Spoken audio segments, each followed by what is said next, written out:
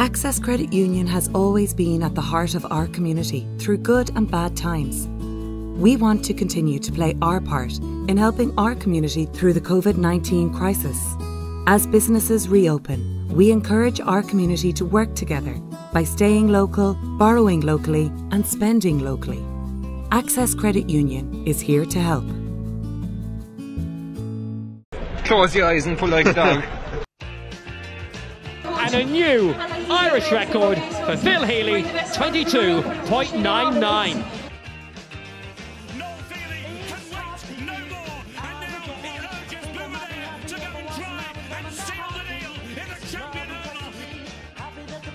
Christy Cooney hands over the Sam Maguire Cup to Graham Canty, Cork All Ireland champions for the seventh time ever. Hello and welcome to the Star Sport podcast. My name is Jack McCarran of the Southern Star, and I'm joined as always by Star Sport editor Kieran McCarthy. On today's podcast, we're going to be reflecting on what was undoubtedly the busiest GAA weekend of 2020 and maybe the busiest GAA weekend ever in West Cork. Later on the podcast, we'll be looking back on Bandon's impressive win over Clyda Rovers in the Senior A Championship and speaking to dual, play- dual player Mark Sugrue, who kicked seven points on Friday night. We'll also be joined by Dave Shannon of O'Donovan Rossa, who kicked six points on Saturday afternoon as the Skibbereen men ran riot in their 4-22 to 1-5 win over St Nick's. But Kieran, let's start by looking at the weekend as a whole. We reckon there are about 40 clubs from West Cork and Mid Cork in action from Friday to Saturday. So before we go too deep into any of the major headlines, you were back covering some of the games over the weekend. So how was it to be back out there? Did you enjoy yourself? Did you did you realise how much you'd missed it when you were actually on the sideline?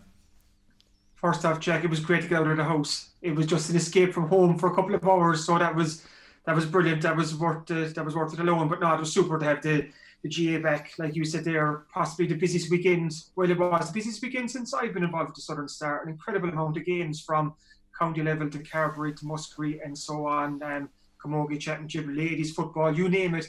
it. it. was on this weekend and every club was in action. So um, it was great to be on the sideline. I know it's the, the new norm at the moment with the with the new COVID nineteen regulations in place, but as far as I could see the games I was at last weekend, everything ran ran perfectly. Um, obviously the crowds are small at the moment, but there was no hassle getting out the grounds. The the teams management, stewards, every, everyone abided by all the rules. So as far as I could see, everything ran pretty smoothly.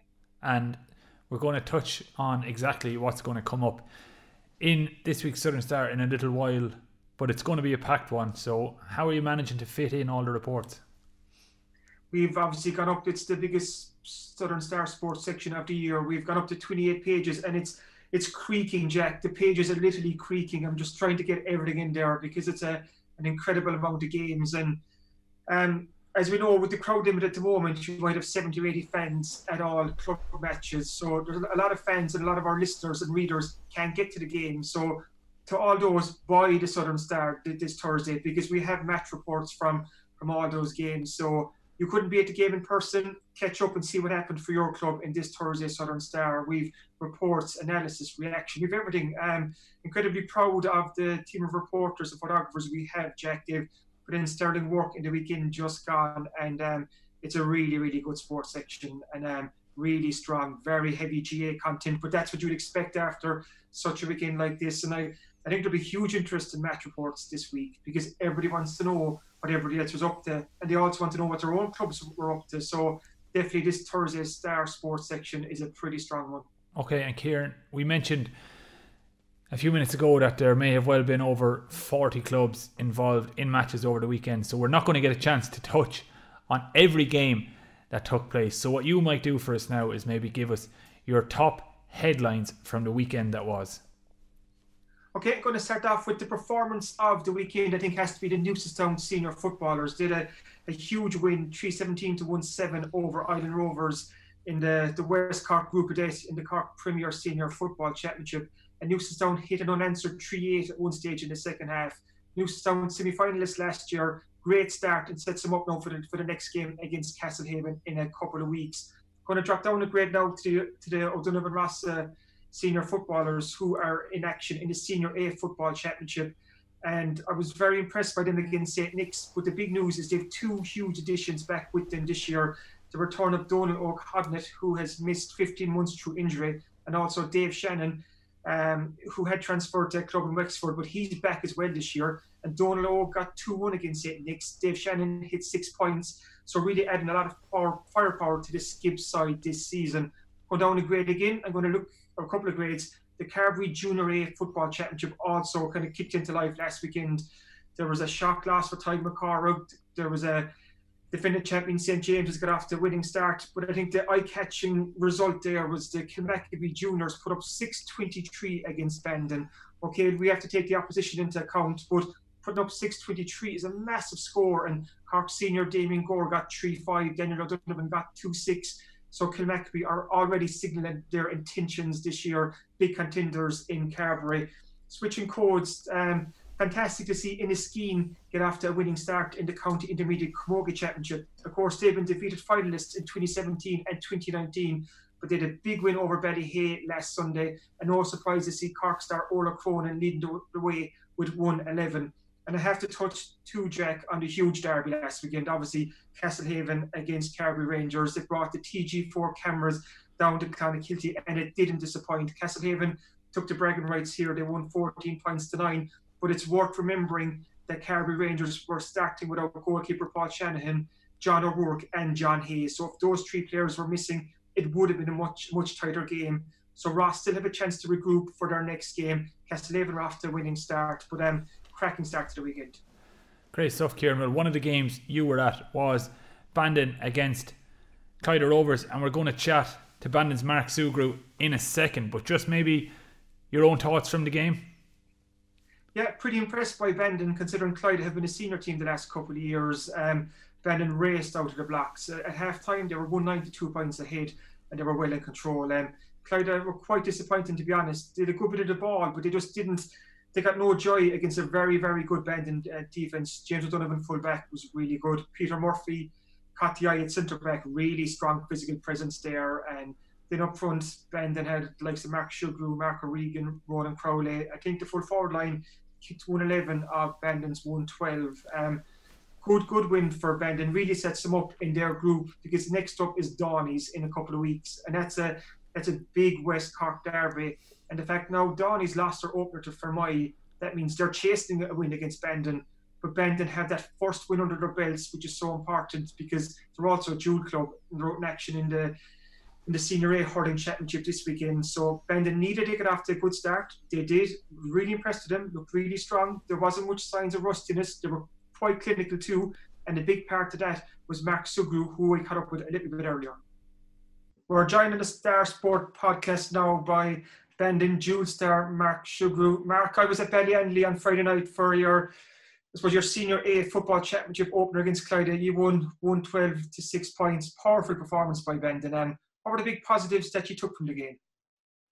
Um, I suppose the, the main thing that we talked about after was that we were so clinical up front. So I know Clyda had a good bit of the ball the first 10, 15 minutes, but they, our backs were very tight, and every time we got an opportunity up front, we seemed to take it for some reason. I don't think we kicked any wide. I'd say we had one wide in the first 30 minutes, which was a great positive, and that's always what we're our kind of game plan is always around like taking the right option, no stupid silly shots, things like that. So that really came to fruition there Friday night, without a lot of preparation in one way. Like you said, Derek, kind of you, you kicked maybe one wide in the first half, and you were one nine to two points up at half time, and the, the game is almost done and dusted by that stage because Clyda weren't at the races. Were you expecting a, a tougher test from Clyda, as seen as they have been seen over the last couple of years? Oh, 100%, yeah. When we saw even the way the new grading system is now, like we've got, there's a 12 teams altogether in our grid. Any one of them 12 could win it. And say there's six or seven who've been senior with the last five, six years. So like we were expecting a big thing from Clyda. But like I was saying, looking back in the game, Clyde had a lot of the ball in the first 10, 15 minutes, but they just, our backs were superb in the night. They gave no opportunity to shoot, no kind of no easy shots really. And everyone just put in a massive performance. I think the one to fifteen were superb, especially with a few a few new fellas starting compared to 2016. I'd say we're after losing five or six from our junior and intermediate counties there. So it's great to see a few new fellas, new faces kind of putting their shoulder to the wheel as well, which that was a big positive out of it, I think. And um, like it was a, I think a relief for everyone that the, the GAA was back last weekend. It was such a busy week for the in, in the Cork County Championships for, for, for you and, and the rest of your teammates to be back playing football after what, just four or five months of, of no games whatsoever. How fun was it to get back out on the pitch again? No, it's great. The, the main thing really is kind of that you're back training with your friends and stuff. That's the big thing, you know, enjoyment out in the fresh air and stuff. But it was a tough three or four four months, and obviously we were sent training programs every every day, every second day. To be fair, and to, I'd say the majority of our gang kind of kept tipping away doing something, but some people made taking it as an opportunity to do to relax and to recharge the legs, which in our case I think might be a bad thing either because since 2015 we've been going basically January till October, November every single year. So I think the break might have done us a good thing, but we'll have to wait and see now in the next three or four weeks last Friday night was my first taste of, I suppose, the new COVID regulations around around um, around the GAA games. And I saw you kind of getting changed in the cars beforehand. You were kind of over behind the goal. And what's the, what's that all been like? Kind of obviously the dressing rooms are closed and all these social distancing rules are in and sanitizing and all that. Has that been hard to, to wrap your heads around these new regulations, Mark? Uh, when it came to the match, no, not really, because we're back training out three or four weeks, I'd say, and we're well used to that down in Bandon that you have to sanitize your hands going in, you have to be kind of changed coming, and everyone's kind of well used to it. To be honest, when it came to a match, it didn't really make much of a difference to us. You know, physio maybe it might be a bit awkward if it was, especially if we've got bad weather now, like for things like that, strappings and other situations. But we'll have to see what comes the next few weeks. This win now against Clyda sets you sets you up really well in, in your group. Um, Doheny's in a couple of weeks' time. Doheny's lost to Fermoy the weekend, so they'll be looking for a win. If you get a win, it could almost put you through to the knockout stages. So all of a sudden, that's looking like a fairly big West Cork derby. Yeah, massive. Yeah, and like Doheny's, even since we've been junior intermediate, we've been playing Doheny's in friendly games, and there's never been much between us, to be honest. And I think it was last year we played them out in the man in the league, and I think we got a goal last minute to win by a point. So like, it's literally 50-50. I don't think I don't think we'd be favourites or they'd be favourites. It'll be very, hard to call, but we'll have to wait and see. I didn't see, obviously, no one saw the demand from game, so it's hard to see where where they're uh, at this time of year too. Like you know, but everyone's in the same boat. You know. Before we move on to chat about the hurling, which is this weekend, I have to ask you about your own performance against Clyda. You got seven points and you're going to claim the assist for Mark O'Regan's goal in the first half. I'm presuming you meant that that was an inch perfect pass by you in, into Mark for that goal. Oh yeah, of course. Jeez. After winning a good mark, yeah, it was a pretty pathetic effort toward for a point, to be honest. Yeah, but it, it worked out well. Definitely, that put us, I think, one four to no score up. So I think that was the that was definitely the changing up the game. I think it kind of deflated Clyda a bit, but it was in fairness that was Mark's first championship start for us, Mark O'Regan. So it was a great a great start for him. Really, I think he ended up with one two. So it's great seeing people like that coming into our group. Like he played pretty well in fairness to him. We're going to turn out to the hurling because I suppose Bandon, as, as a dual senior club, you're straight into hurling this weekend with a game against Charleville. Um, what, what, what are your thoughts on, on your senior hurling group first and kind of how hard then is it to kind of switch from football to hurling?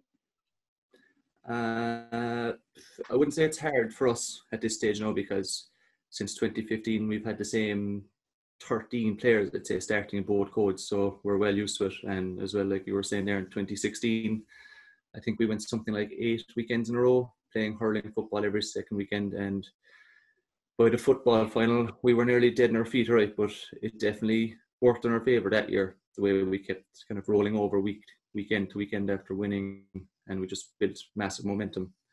Um, within our group, we have two two teams that we played a good bit the last since I've been playing intermediate or senior hurling, from Fermoy and Mallow. So there's never much between us. We had from Fermoy in that county final, and they're every bit as good as us. And we played Mallow in the semi with a we got a late goal that year as well. So again, there wasn't much between us.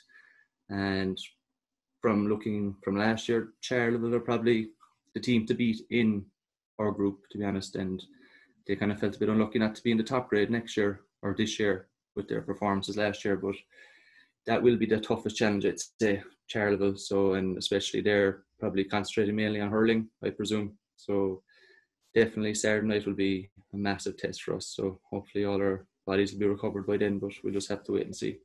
You mentioned 2016 there, Mark, and that was obviously the year where Bandon won the Premier Intermediate um, Hurling Championship and Intermediate Football Championship. So those campaigns are running side by side, like you said there, for almost two months, and you kept winning and winning and winning.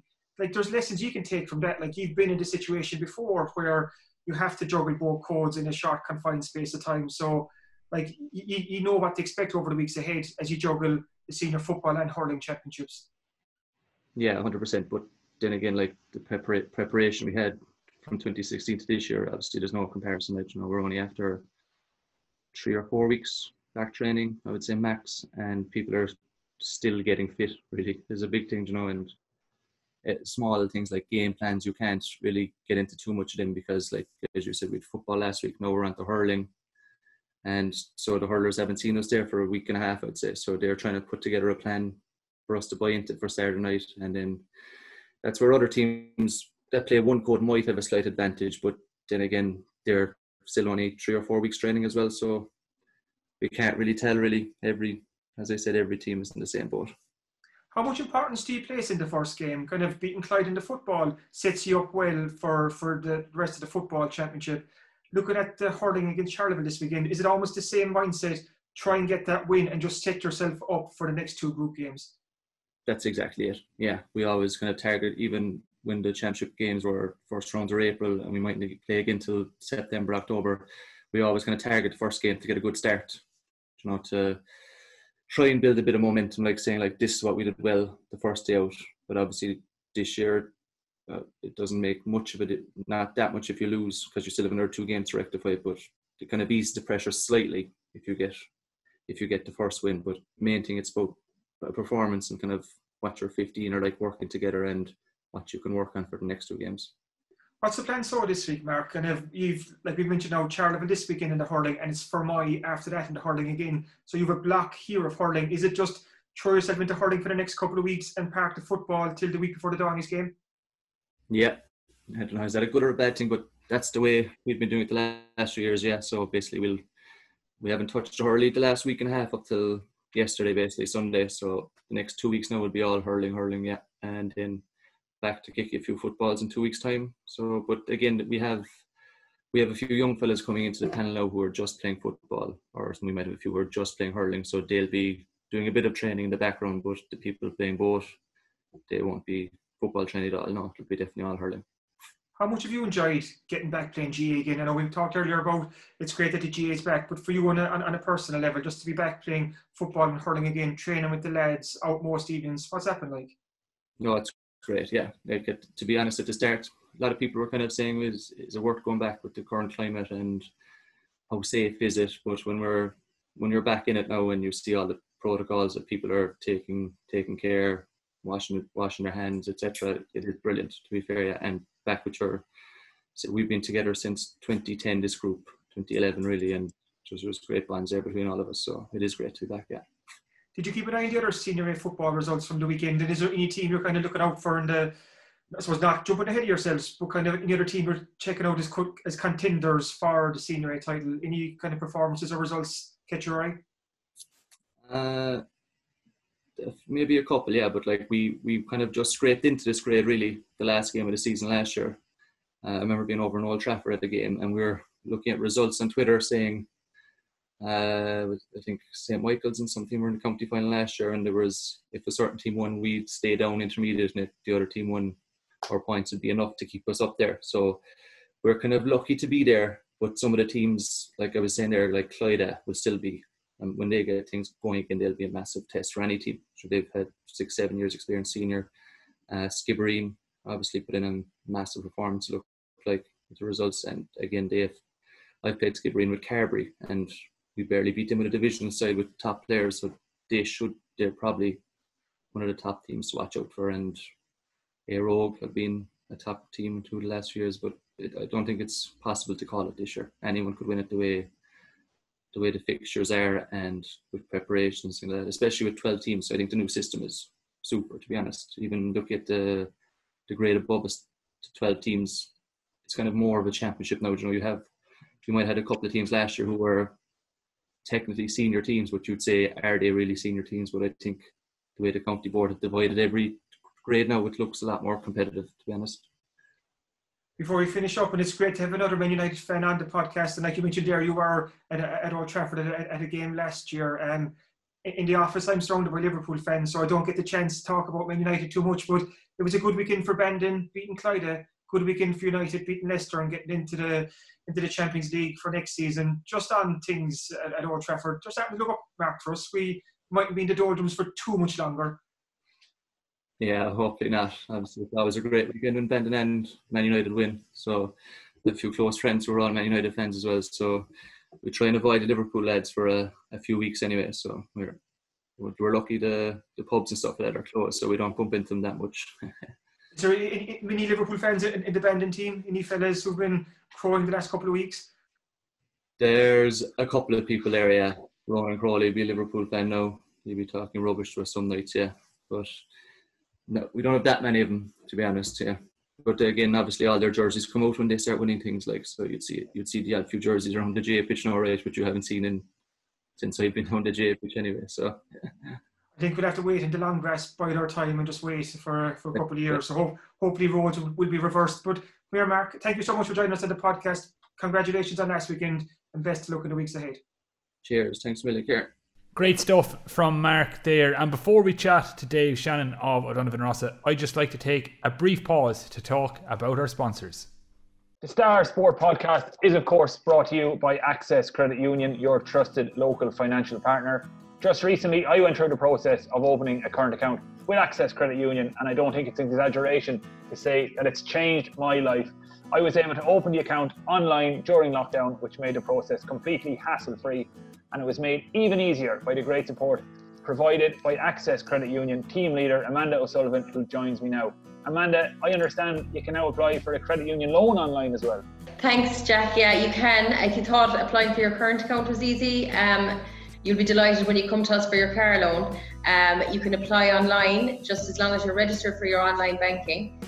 A couple of clicks, and it comes to us here in Access Credit Union. The personal touch still isn't lost. We'll still ring you back and discuss the loan with you. Um, and you can upload any supporting documents you needed, your uh, payslips, bank statements, that sort of thing. Um, we attach them here to your loan, assess the loan, and you can draw it down online. So we aim to do that all within 24 to 48 hours, depending on when you submit your documents. Um, and I suppose it was something that was in the pipeline for a while, but with COVID 19, it sped us, sped us up to, to provide the service. Um, and it's really worked out well for us. And you know, for members being able to access their funds and still draw down their loan, it's been it's been a great asset to us really and to the community. I suppose, yeah, um, typically people always had to come into the credit union to draw down their loan. And you know for young people who may not be living in the area anymore we were inaccessible then. So now we're back back in the market for these these members again. Um, and hopefully they will they will support us as we are supporting local businesses. And you know with every 10 euros spent in the locality it generates 40 euros for the local economy. So in turn the interest that you're paying on your loan in your local credit union goes back into your local economy. So you know everyone's helping each other with this Great stuff. Thanks very much, Amanda. And don't forget, Access Credit Union is your trusted local financial partner. Access your money 24 7 from anywhere in the world with an Access Credit Union current account and enjoy all the benefits while keeping your money local. Now, on Saturday afternoon in Brinny, O'Donovan Rossa ran riot as they beat St. Nick's 4 22 to 1 5. In a few moments, we're going to hear from Dave Shannon, who was donning the Skibbereen Red in a championship game for the first time since 2016. But he wasn't the only man making a welcome return on Saturday.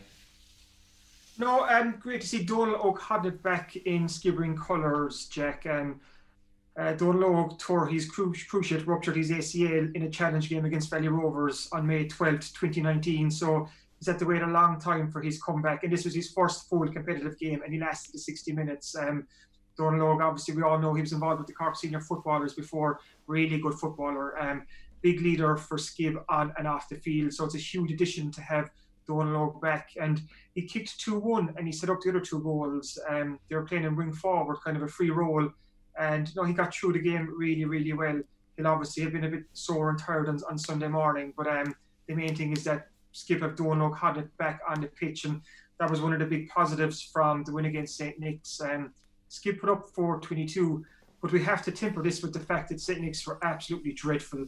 There were, I hadn't seen a team as disorganised in, in, a long time. Um, Skib could have won by what they wanted to win by. It was really men against boys, and um, kind of. Uh, but that, in a way, it shouldn't take away from Skib because also what Skib did is they didn't let up. They scored more in the second half than they, did in the first half, and they went out to kind of, I suppose, signal their intentions for the season ahead. And Skib, with the team they have, should be contenders for the Senior A football title this year. And I'm quite interested to watch them too, because I suppose over the last couple of years in the old Cork Senior Football Championship, they were always going to dare thereabouts. They were never going to win it, but they weren't uh, poor enough to get relegated either because they were a team in transition and what we're starting to see now is the kind of uh, a new Skib team emerge. Kind of, they've brought these 221 teams together. The latest team from from 2018, 2019, and the county winning team from 2011. So you've um, you've the nucleus of quite a young Skib team there at the moment, and it's it was quite exciting to. It's quite exciting for them to see this team in action because, as far as I know, that was the first time last Saturday that they had everyone available and fit. And they said, like I said, they were up 422 Donald Lowe played well.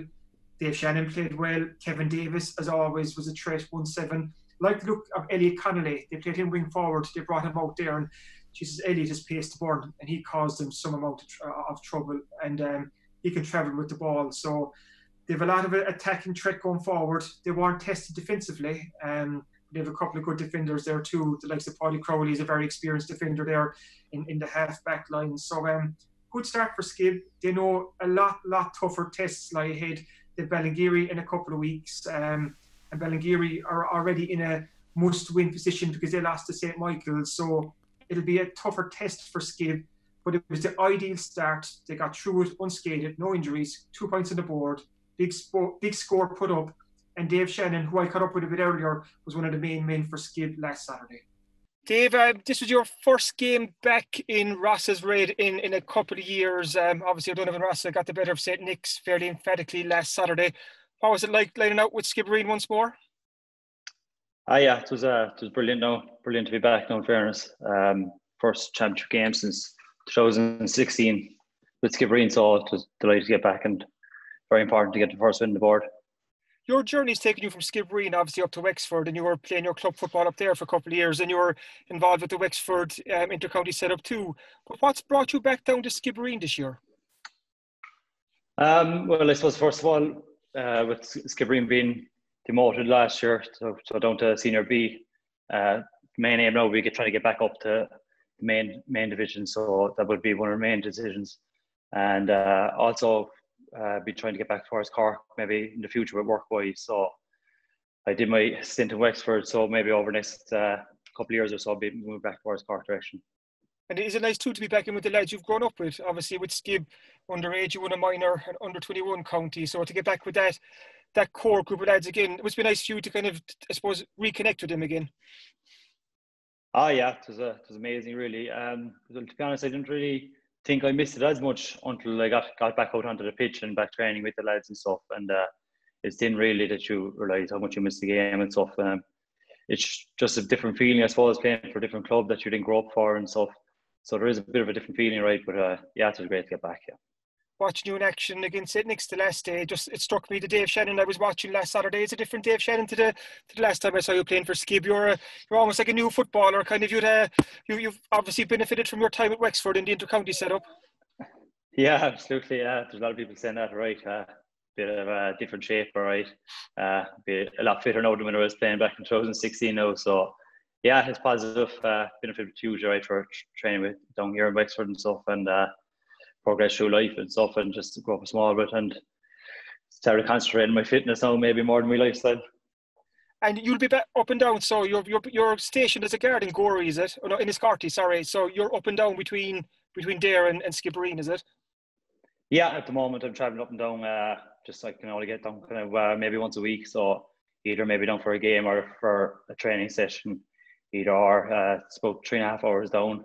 So it'd be a seven-hour round trip for a training session there or a match. So it's fairly tough on the body right at the moment. that's dedication and commitment if, if ever I heard it. But you kind of get the feeling that there's something kind of could happen with this Skib group at the moment. Like it's been a, I suppose, a team in transition the last couple of years, but there's a there's a nucleus of a very good team there now at the moment, Dave. I suppose you've the 221 teams, the team you won the county with back in, I think it was a 2011, and uh, and the kind of the more recent under 21 team. So can you sense yourself that this team is a team that can go places? Uh, yeah. Well, hopefully over the next couple of years, uh, as you said yourself, it is in transition. Uh, we know ourselves we're not not there yet and not nearly there, but after time, hopefully we'll get there. Um, it is a massive change over the last couple of years. Like since I played last with Skib, there's only a, a few names left. Uh, so like all lads are different. So it's like being with a new team really. Uh, it's fresh, so everyone's very excited, very excited moment. You got off to the best possible start against St. Nick's last weekend. Um, Proper Hughes scored, I think it was 422 you put up. What, what, what are the big positives to take from that performance? Uh, I suppose the way we kind of put away the game early, uh, we got a good few chances earlier on and we took them. Uh, we started started very well with uh, high high intensity and we kept it going through. So uh, we're kind of very pleased right the way we didn't take the foot off the pedal at any stage. So we never let them back into it really, thank, thankfully like you said there, like you were so on top, and I can't remember the score at half time, but you were obviously well out the gate. But in that second half, you kept your foot on Nick's throat, like you didn't let up. You were going for goals. I think you got he scored more in the second half than you did in the first half. So was that something consciously that you wanted to finish the game strong? Yeah, um, I think we won one thirteen score in the first half. I think, and uh, we just kind of set ourselves a few goals and stuff that and a few targets that we were looking to aim for, and uh, just to keep ourselves motivated throughout the game and we hit those targets and maybe exceeded a few of them right in fairness. So we're very happy there. One of the other big pluses last Saturday was obviously the comeback of Don Donal Óg Hodnett. He hadn't played shit May 12th, 2019, ironically at Brinny in a in a challenge game, and it was superb to see him back the last day. And he, we we saw glimpses and flashes of why Donal Óg is so good. Um, it's just great to see him back in the pitch. Yeah, absolutely. Uh, geez, he's an amazing footballer. Um, I didn't realize it was so long either, and I don't think he did either until he heard the stats about it and it was in Brinny right, but uh, thankfully he got through it and yeah, he looked he looked very good. He looked sharp and he's looking forward to the season as well. And winning the first game in, in the new group stage format that's in the county championship this year, it sets you up for the next two games against Ballingeary and St Michael's. So, um, how important was it to get that first win and to get the two points on the board? Uh, big time, yeah. It's always very important to get winning, but as you've kind of seen over the years, that winning is kind of builds a lot of momentum and it becomes a habit after a while. So yeah, it's massive to get the first win on the board and then look forward to the next game. Looking at the Senior A Football Championship as a whole, it, it, it looks fierce competitive. I was, like I said, Michael's obviously won the last day. Éire Óg had a good win. There's some good teams in there. It looks like a, a very competitive grade, grade, Dave. Yeah, absolutely. Uh, like Éire Óg, Kiskeam, St. Michael's, there's Bandon, there's Fermoy, and they're only naming a few teams, Bantry Blues as well. Like there's a lot of them there have a great chance and it is highly competitive, right? And I suppose you've the opportunity to to build a bit of momentum, get a couple of wins under your belt, and drive on from there. Especially with the championship being in such a confined space, there is that possibility and chance to to build up ahead of steam. Yeah, absolutely. Yeah, the format kind of looks looks as if if you get get a winning roll and stuff going, that it should hopefully build momentum towards the, later stages in the tournament. Like so, it is important to get your first win in the board. Yeah. And I see too, just switching sports for a second. You're obviously a, a big road bowler. You've a you've a fairly big score coming up this week in the Carbery Junior A, have you? Yeah, uh, I threw my first first score there last weekend. So I uh, played uh, Tony Sullivan last weekend, and I had John Clano next round. So I'm back in action to road bowling as well. We've heard like of dual stars, but I think you take the biscuit between rugby, football, and and and and, and road bowling. How do you manage to how do you manage to juggle them all over the years? Yeah, I don't know really. I suppose they were kind of taking from each other really in a way, I suppose. But uh, I didn't, I didn't manage to kind of compete at them fairly well in a way. But uh, they do, they do take from each other, and uh, they are missing training of one for another. And sometimes I suppose it doesn't really work out, but you kind of just have to do the best you can really, and make make much time for everything.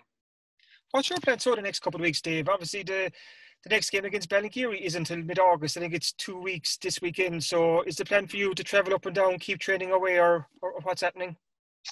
Yeah, uh, keep the foot on the gas, as I would say. Um, our with my work schedule now, we're working four days on, four days off.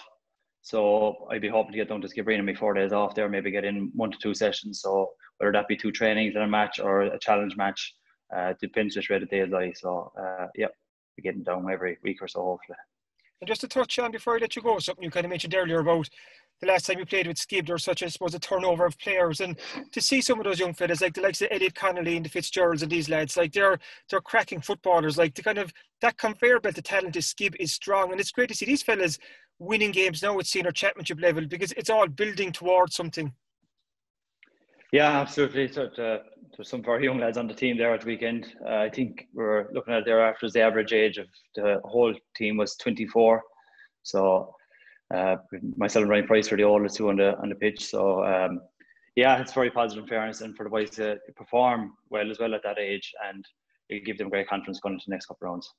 No, great stuff. No, there's a, a super Skib performance and a great win to kick off the championship with. Um, thanks for joining us, Dave, and best of luck in the weeks and months ahead. Cheers. Thanks very much. Thank you, Kieran. Access Credit Union has always been at the heart of our community through good and bad times. We want to continue to play our part in helping our community through the COVID 19 crisis. As businesses reopen, we encourage our community to work together by staying local, borrowing locally, and spending locally. Access Credit Union is here to help. Welcome back to the Star Sport podcast. And as promised at the top of the show, we're going to preview what's to come in this week's Southern Star Sports section. And as Kieran mentioned, it's absolutely jam packed 28 pages featuring sport from all around the region with a big focus on the return of the GAA. So, Kieran, people have an idea already of what to expect, but maybe just fill us in a little more. I'm going to repeat myself. I'm going to be, going to be like a parrot here, Jack, but the fact that fans couldn't get the games, just pick up the star this week. We've all the match reports in there, so you won't miss a thing that happened on the GAA scene last weekend around Carbery, Muskerry, and the county championships. So loaded with match reports from Carbery Rangers, Castlehaven, Skib Nick's, Bandon against Clyda. It's all there. Everything is there, kind of. So we're loaded with GAA reports, and um, also it's worth mentioning too that Conor Hourihane played his part as Villa did the great escape from the um, from the Premier League relegation battle last weekend. Conor played 75 odd minutes as a Villa drew one all with a West Ham, and that was enough for Villa to survive relegation by one point. So we've a reaction from Conor in this week's Southern Star. Just just hold that thought for a second, Kieran. Just to to to double down on Conor's influence in the last few games. He really came into his own in like the relegation battle, didn't he? Every week I was turning on live score or turning on the results pages, and the assists were coming from the Bandon man. Oh, super! Like he was superb the last couple of weeks. I think he had four assists in the last maybe five, six, seven games. And if you look at Villa's run, I think Villa took eight points from their last four games, and that was like that's why it's called the Great Escape because a lot of experts and pundits had written them off saying they, they were gone, but they pulled it out of the fire.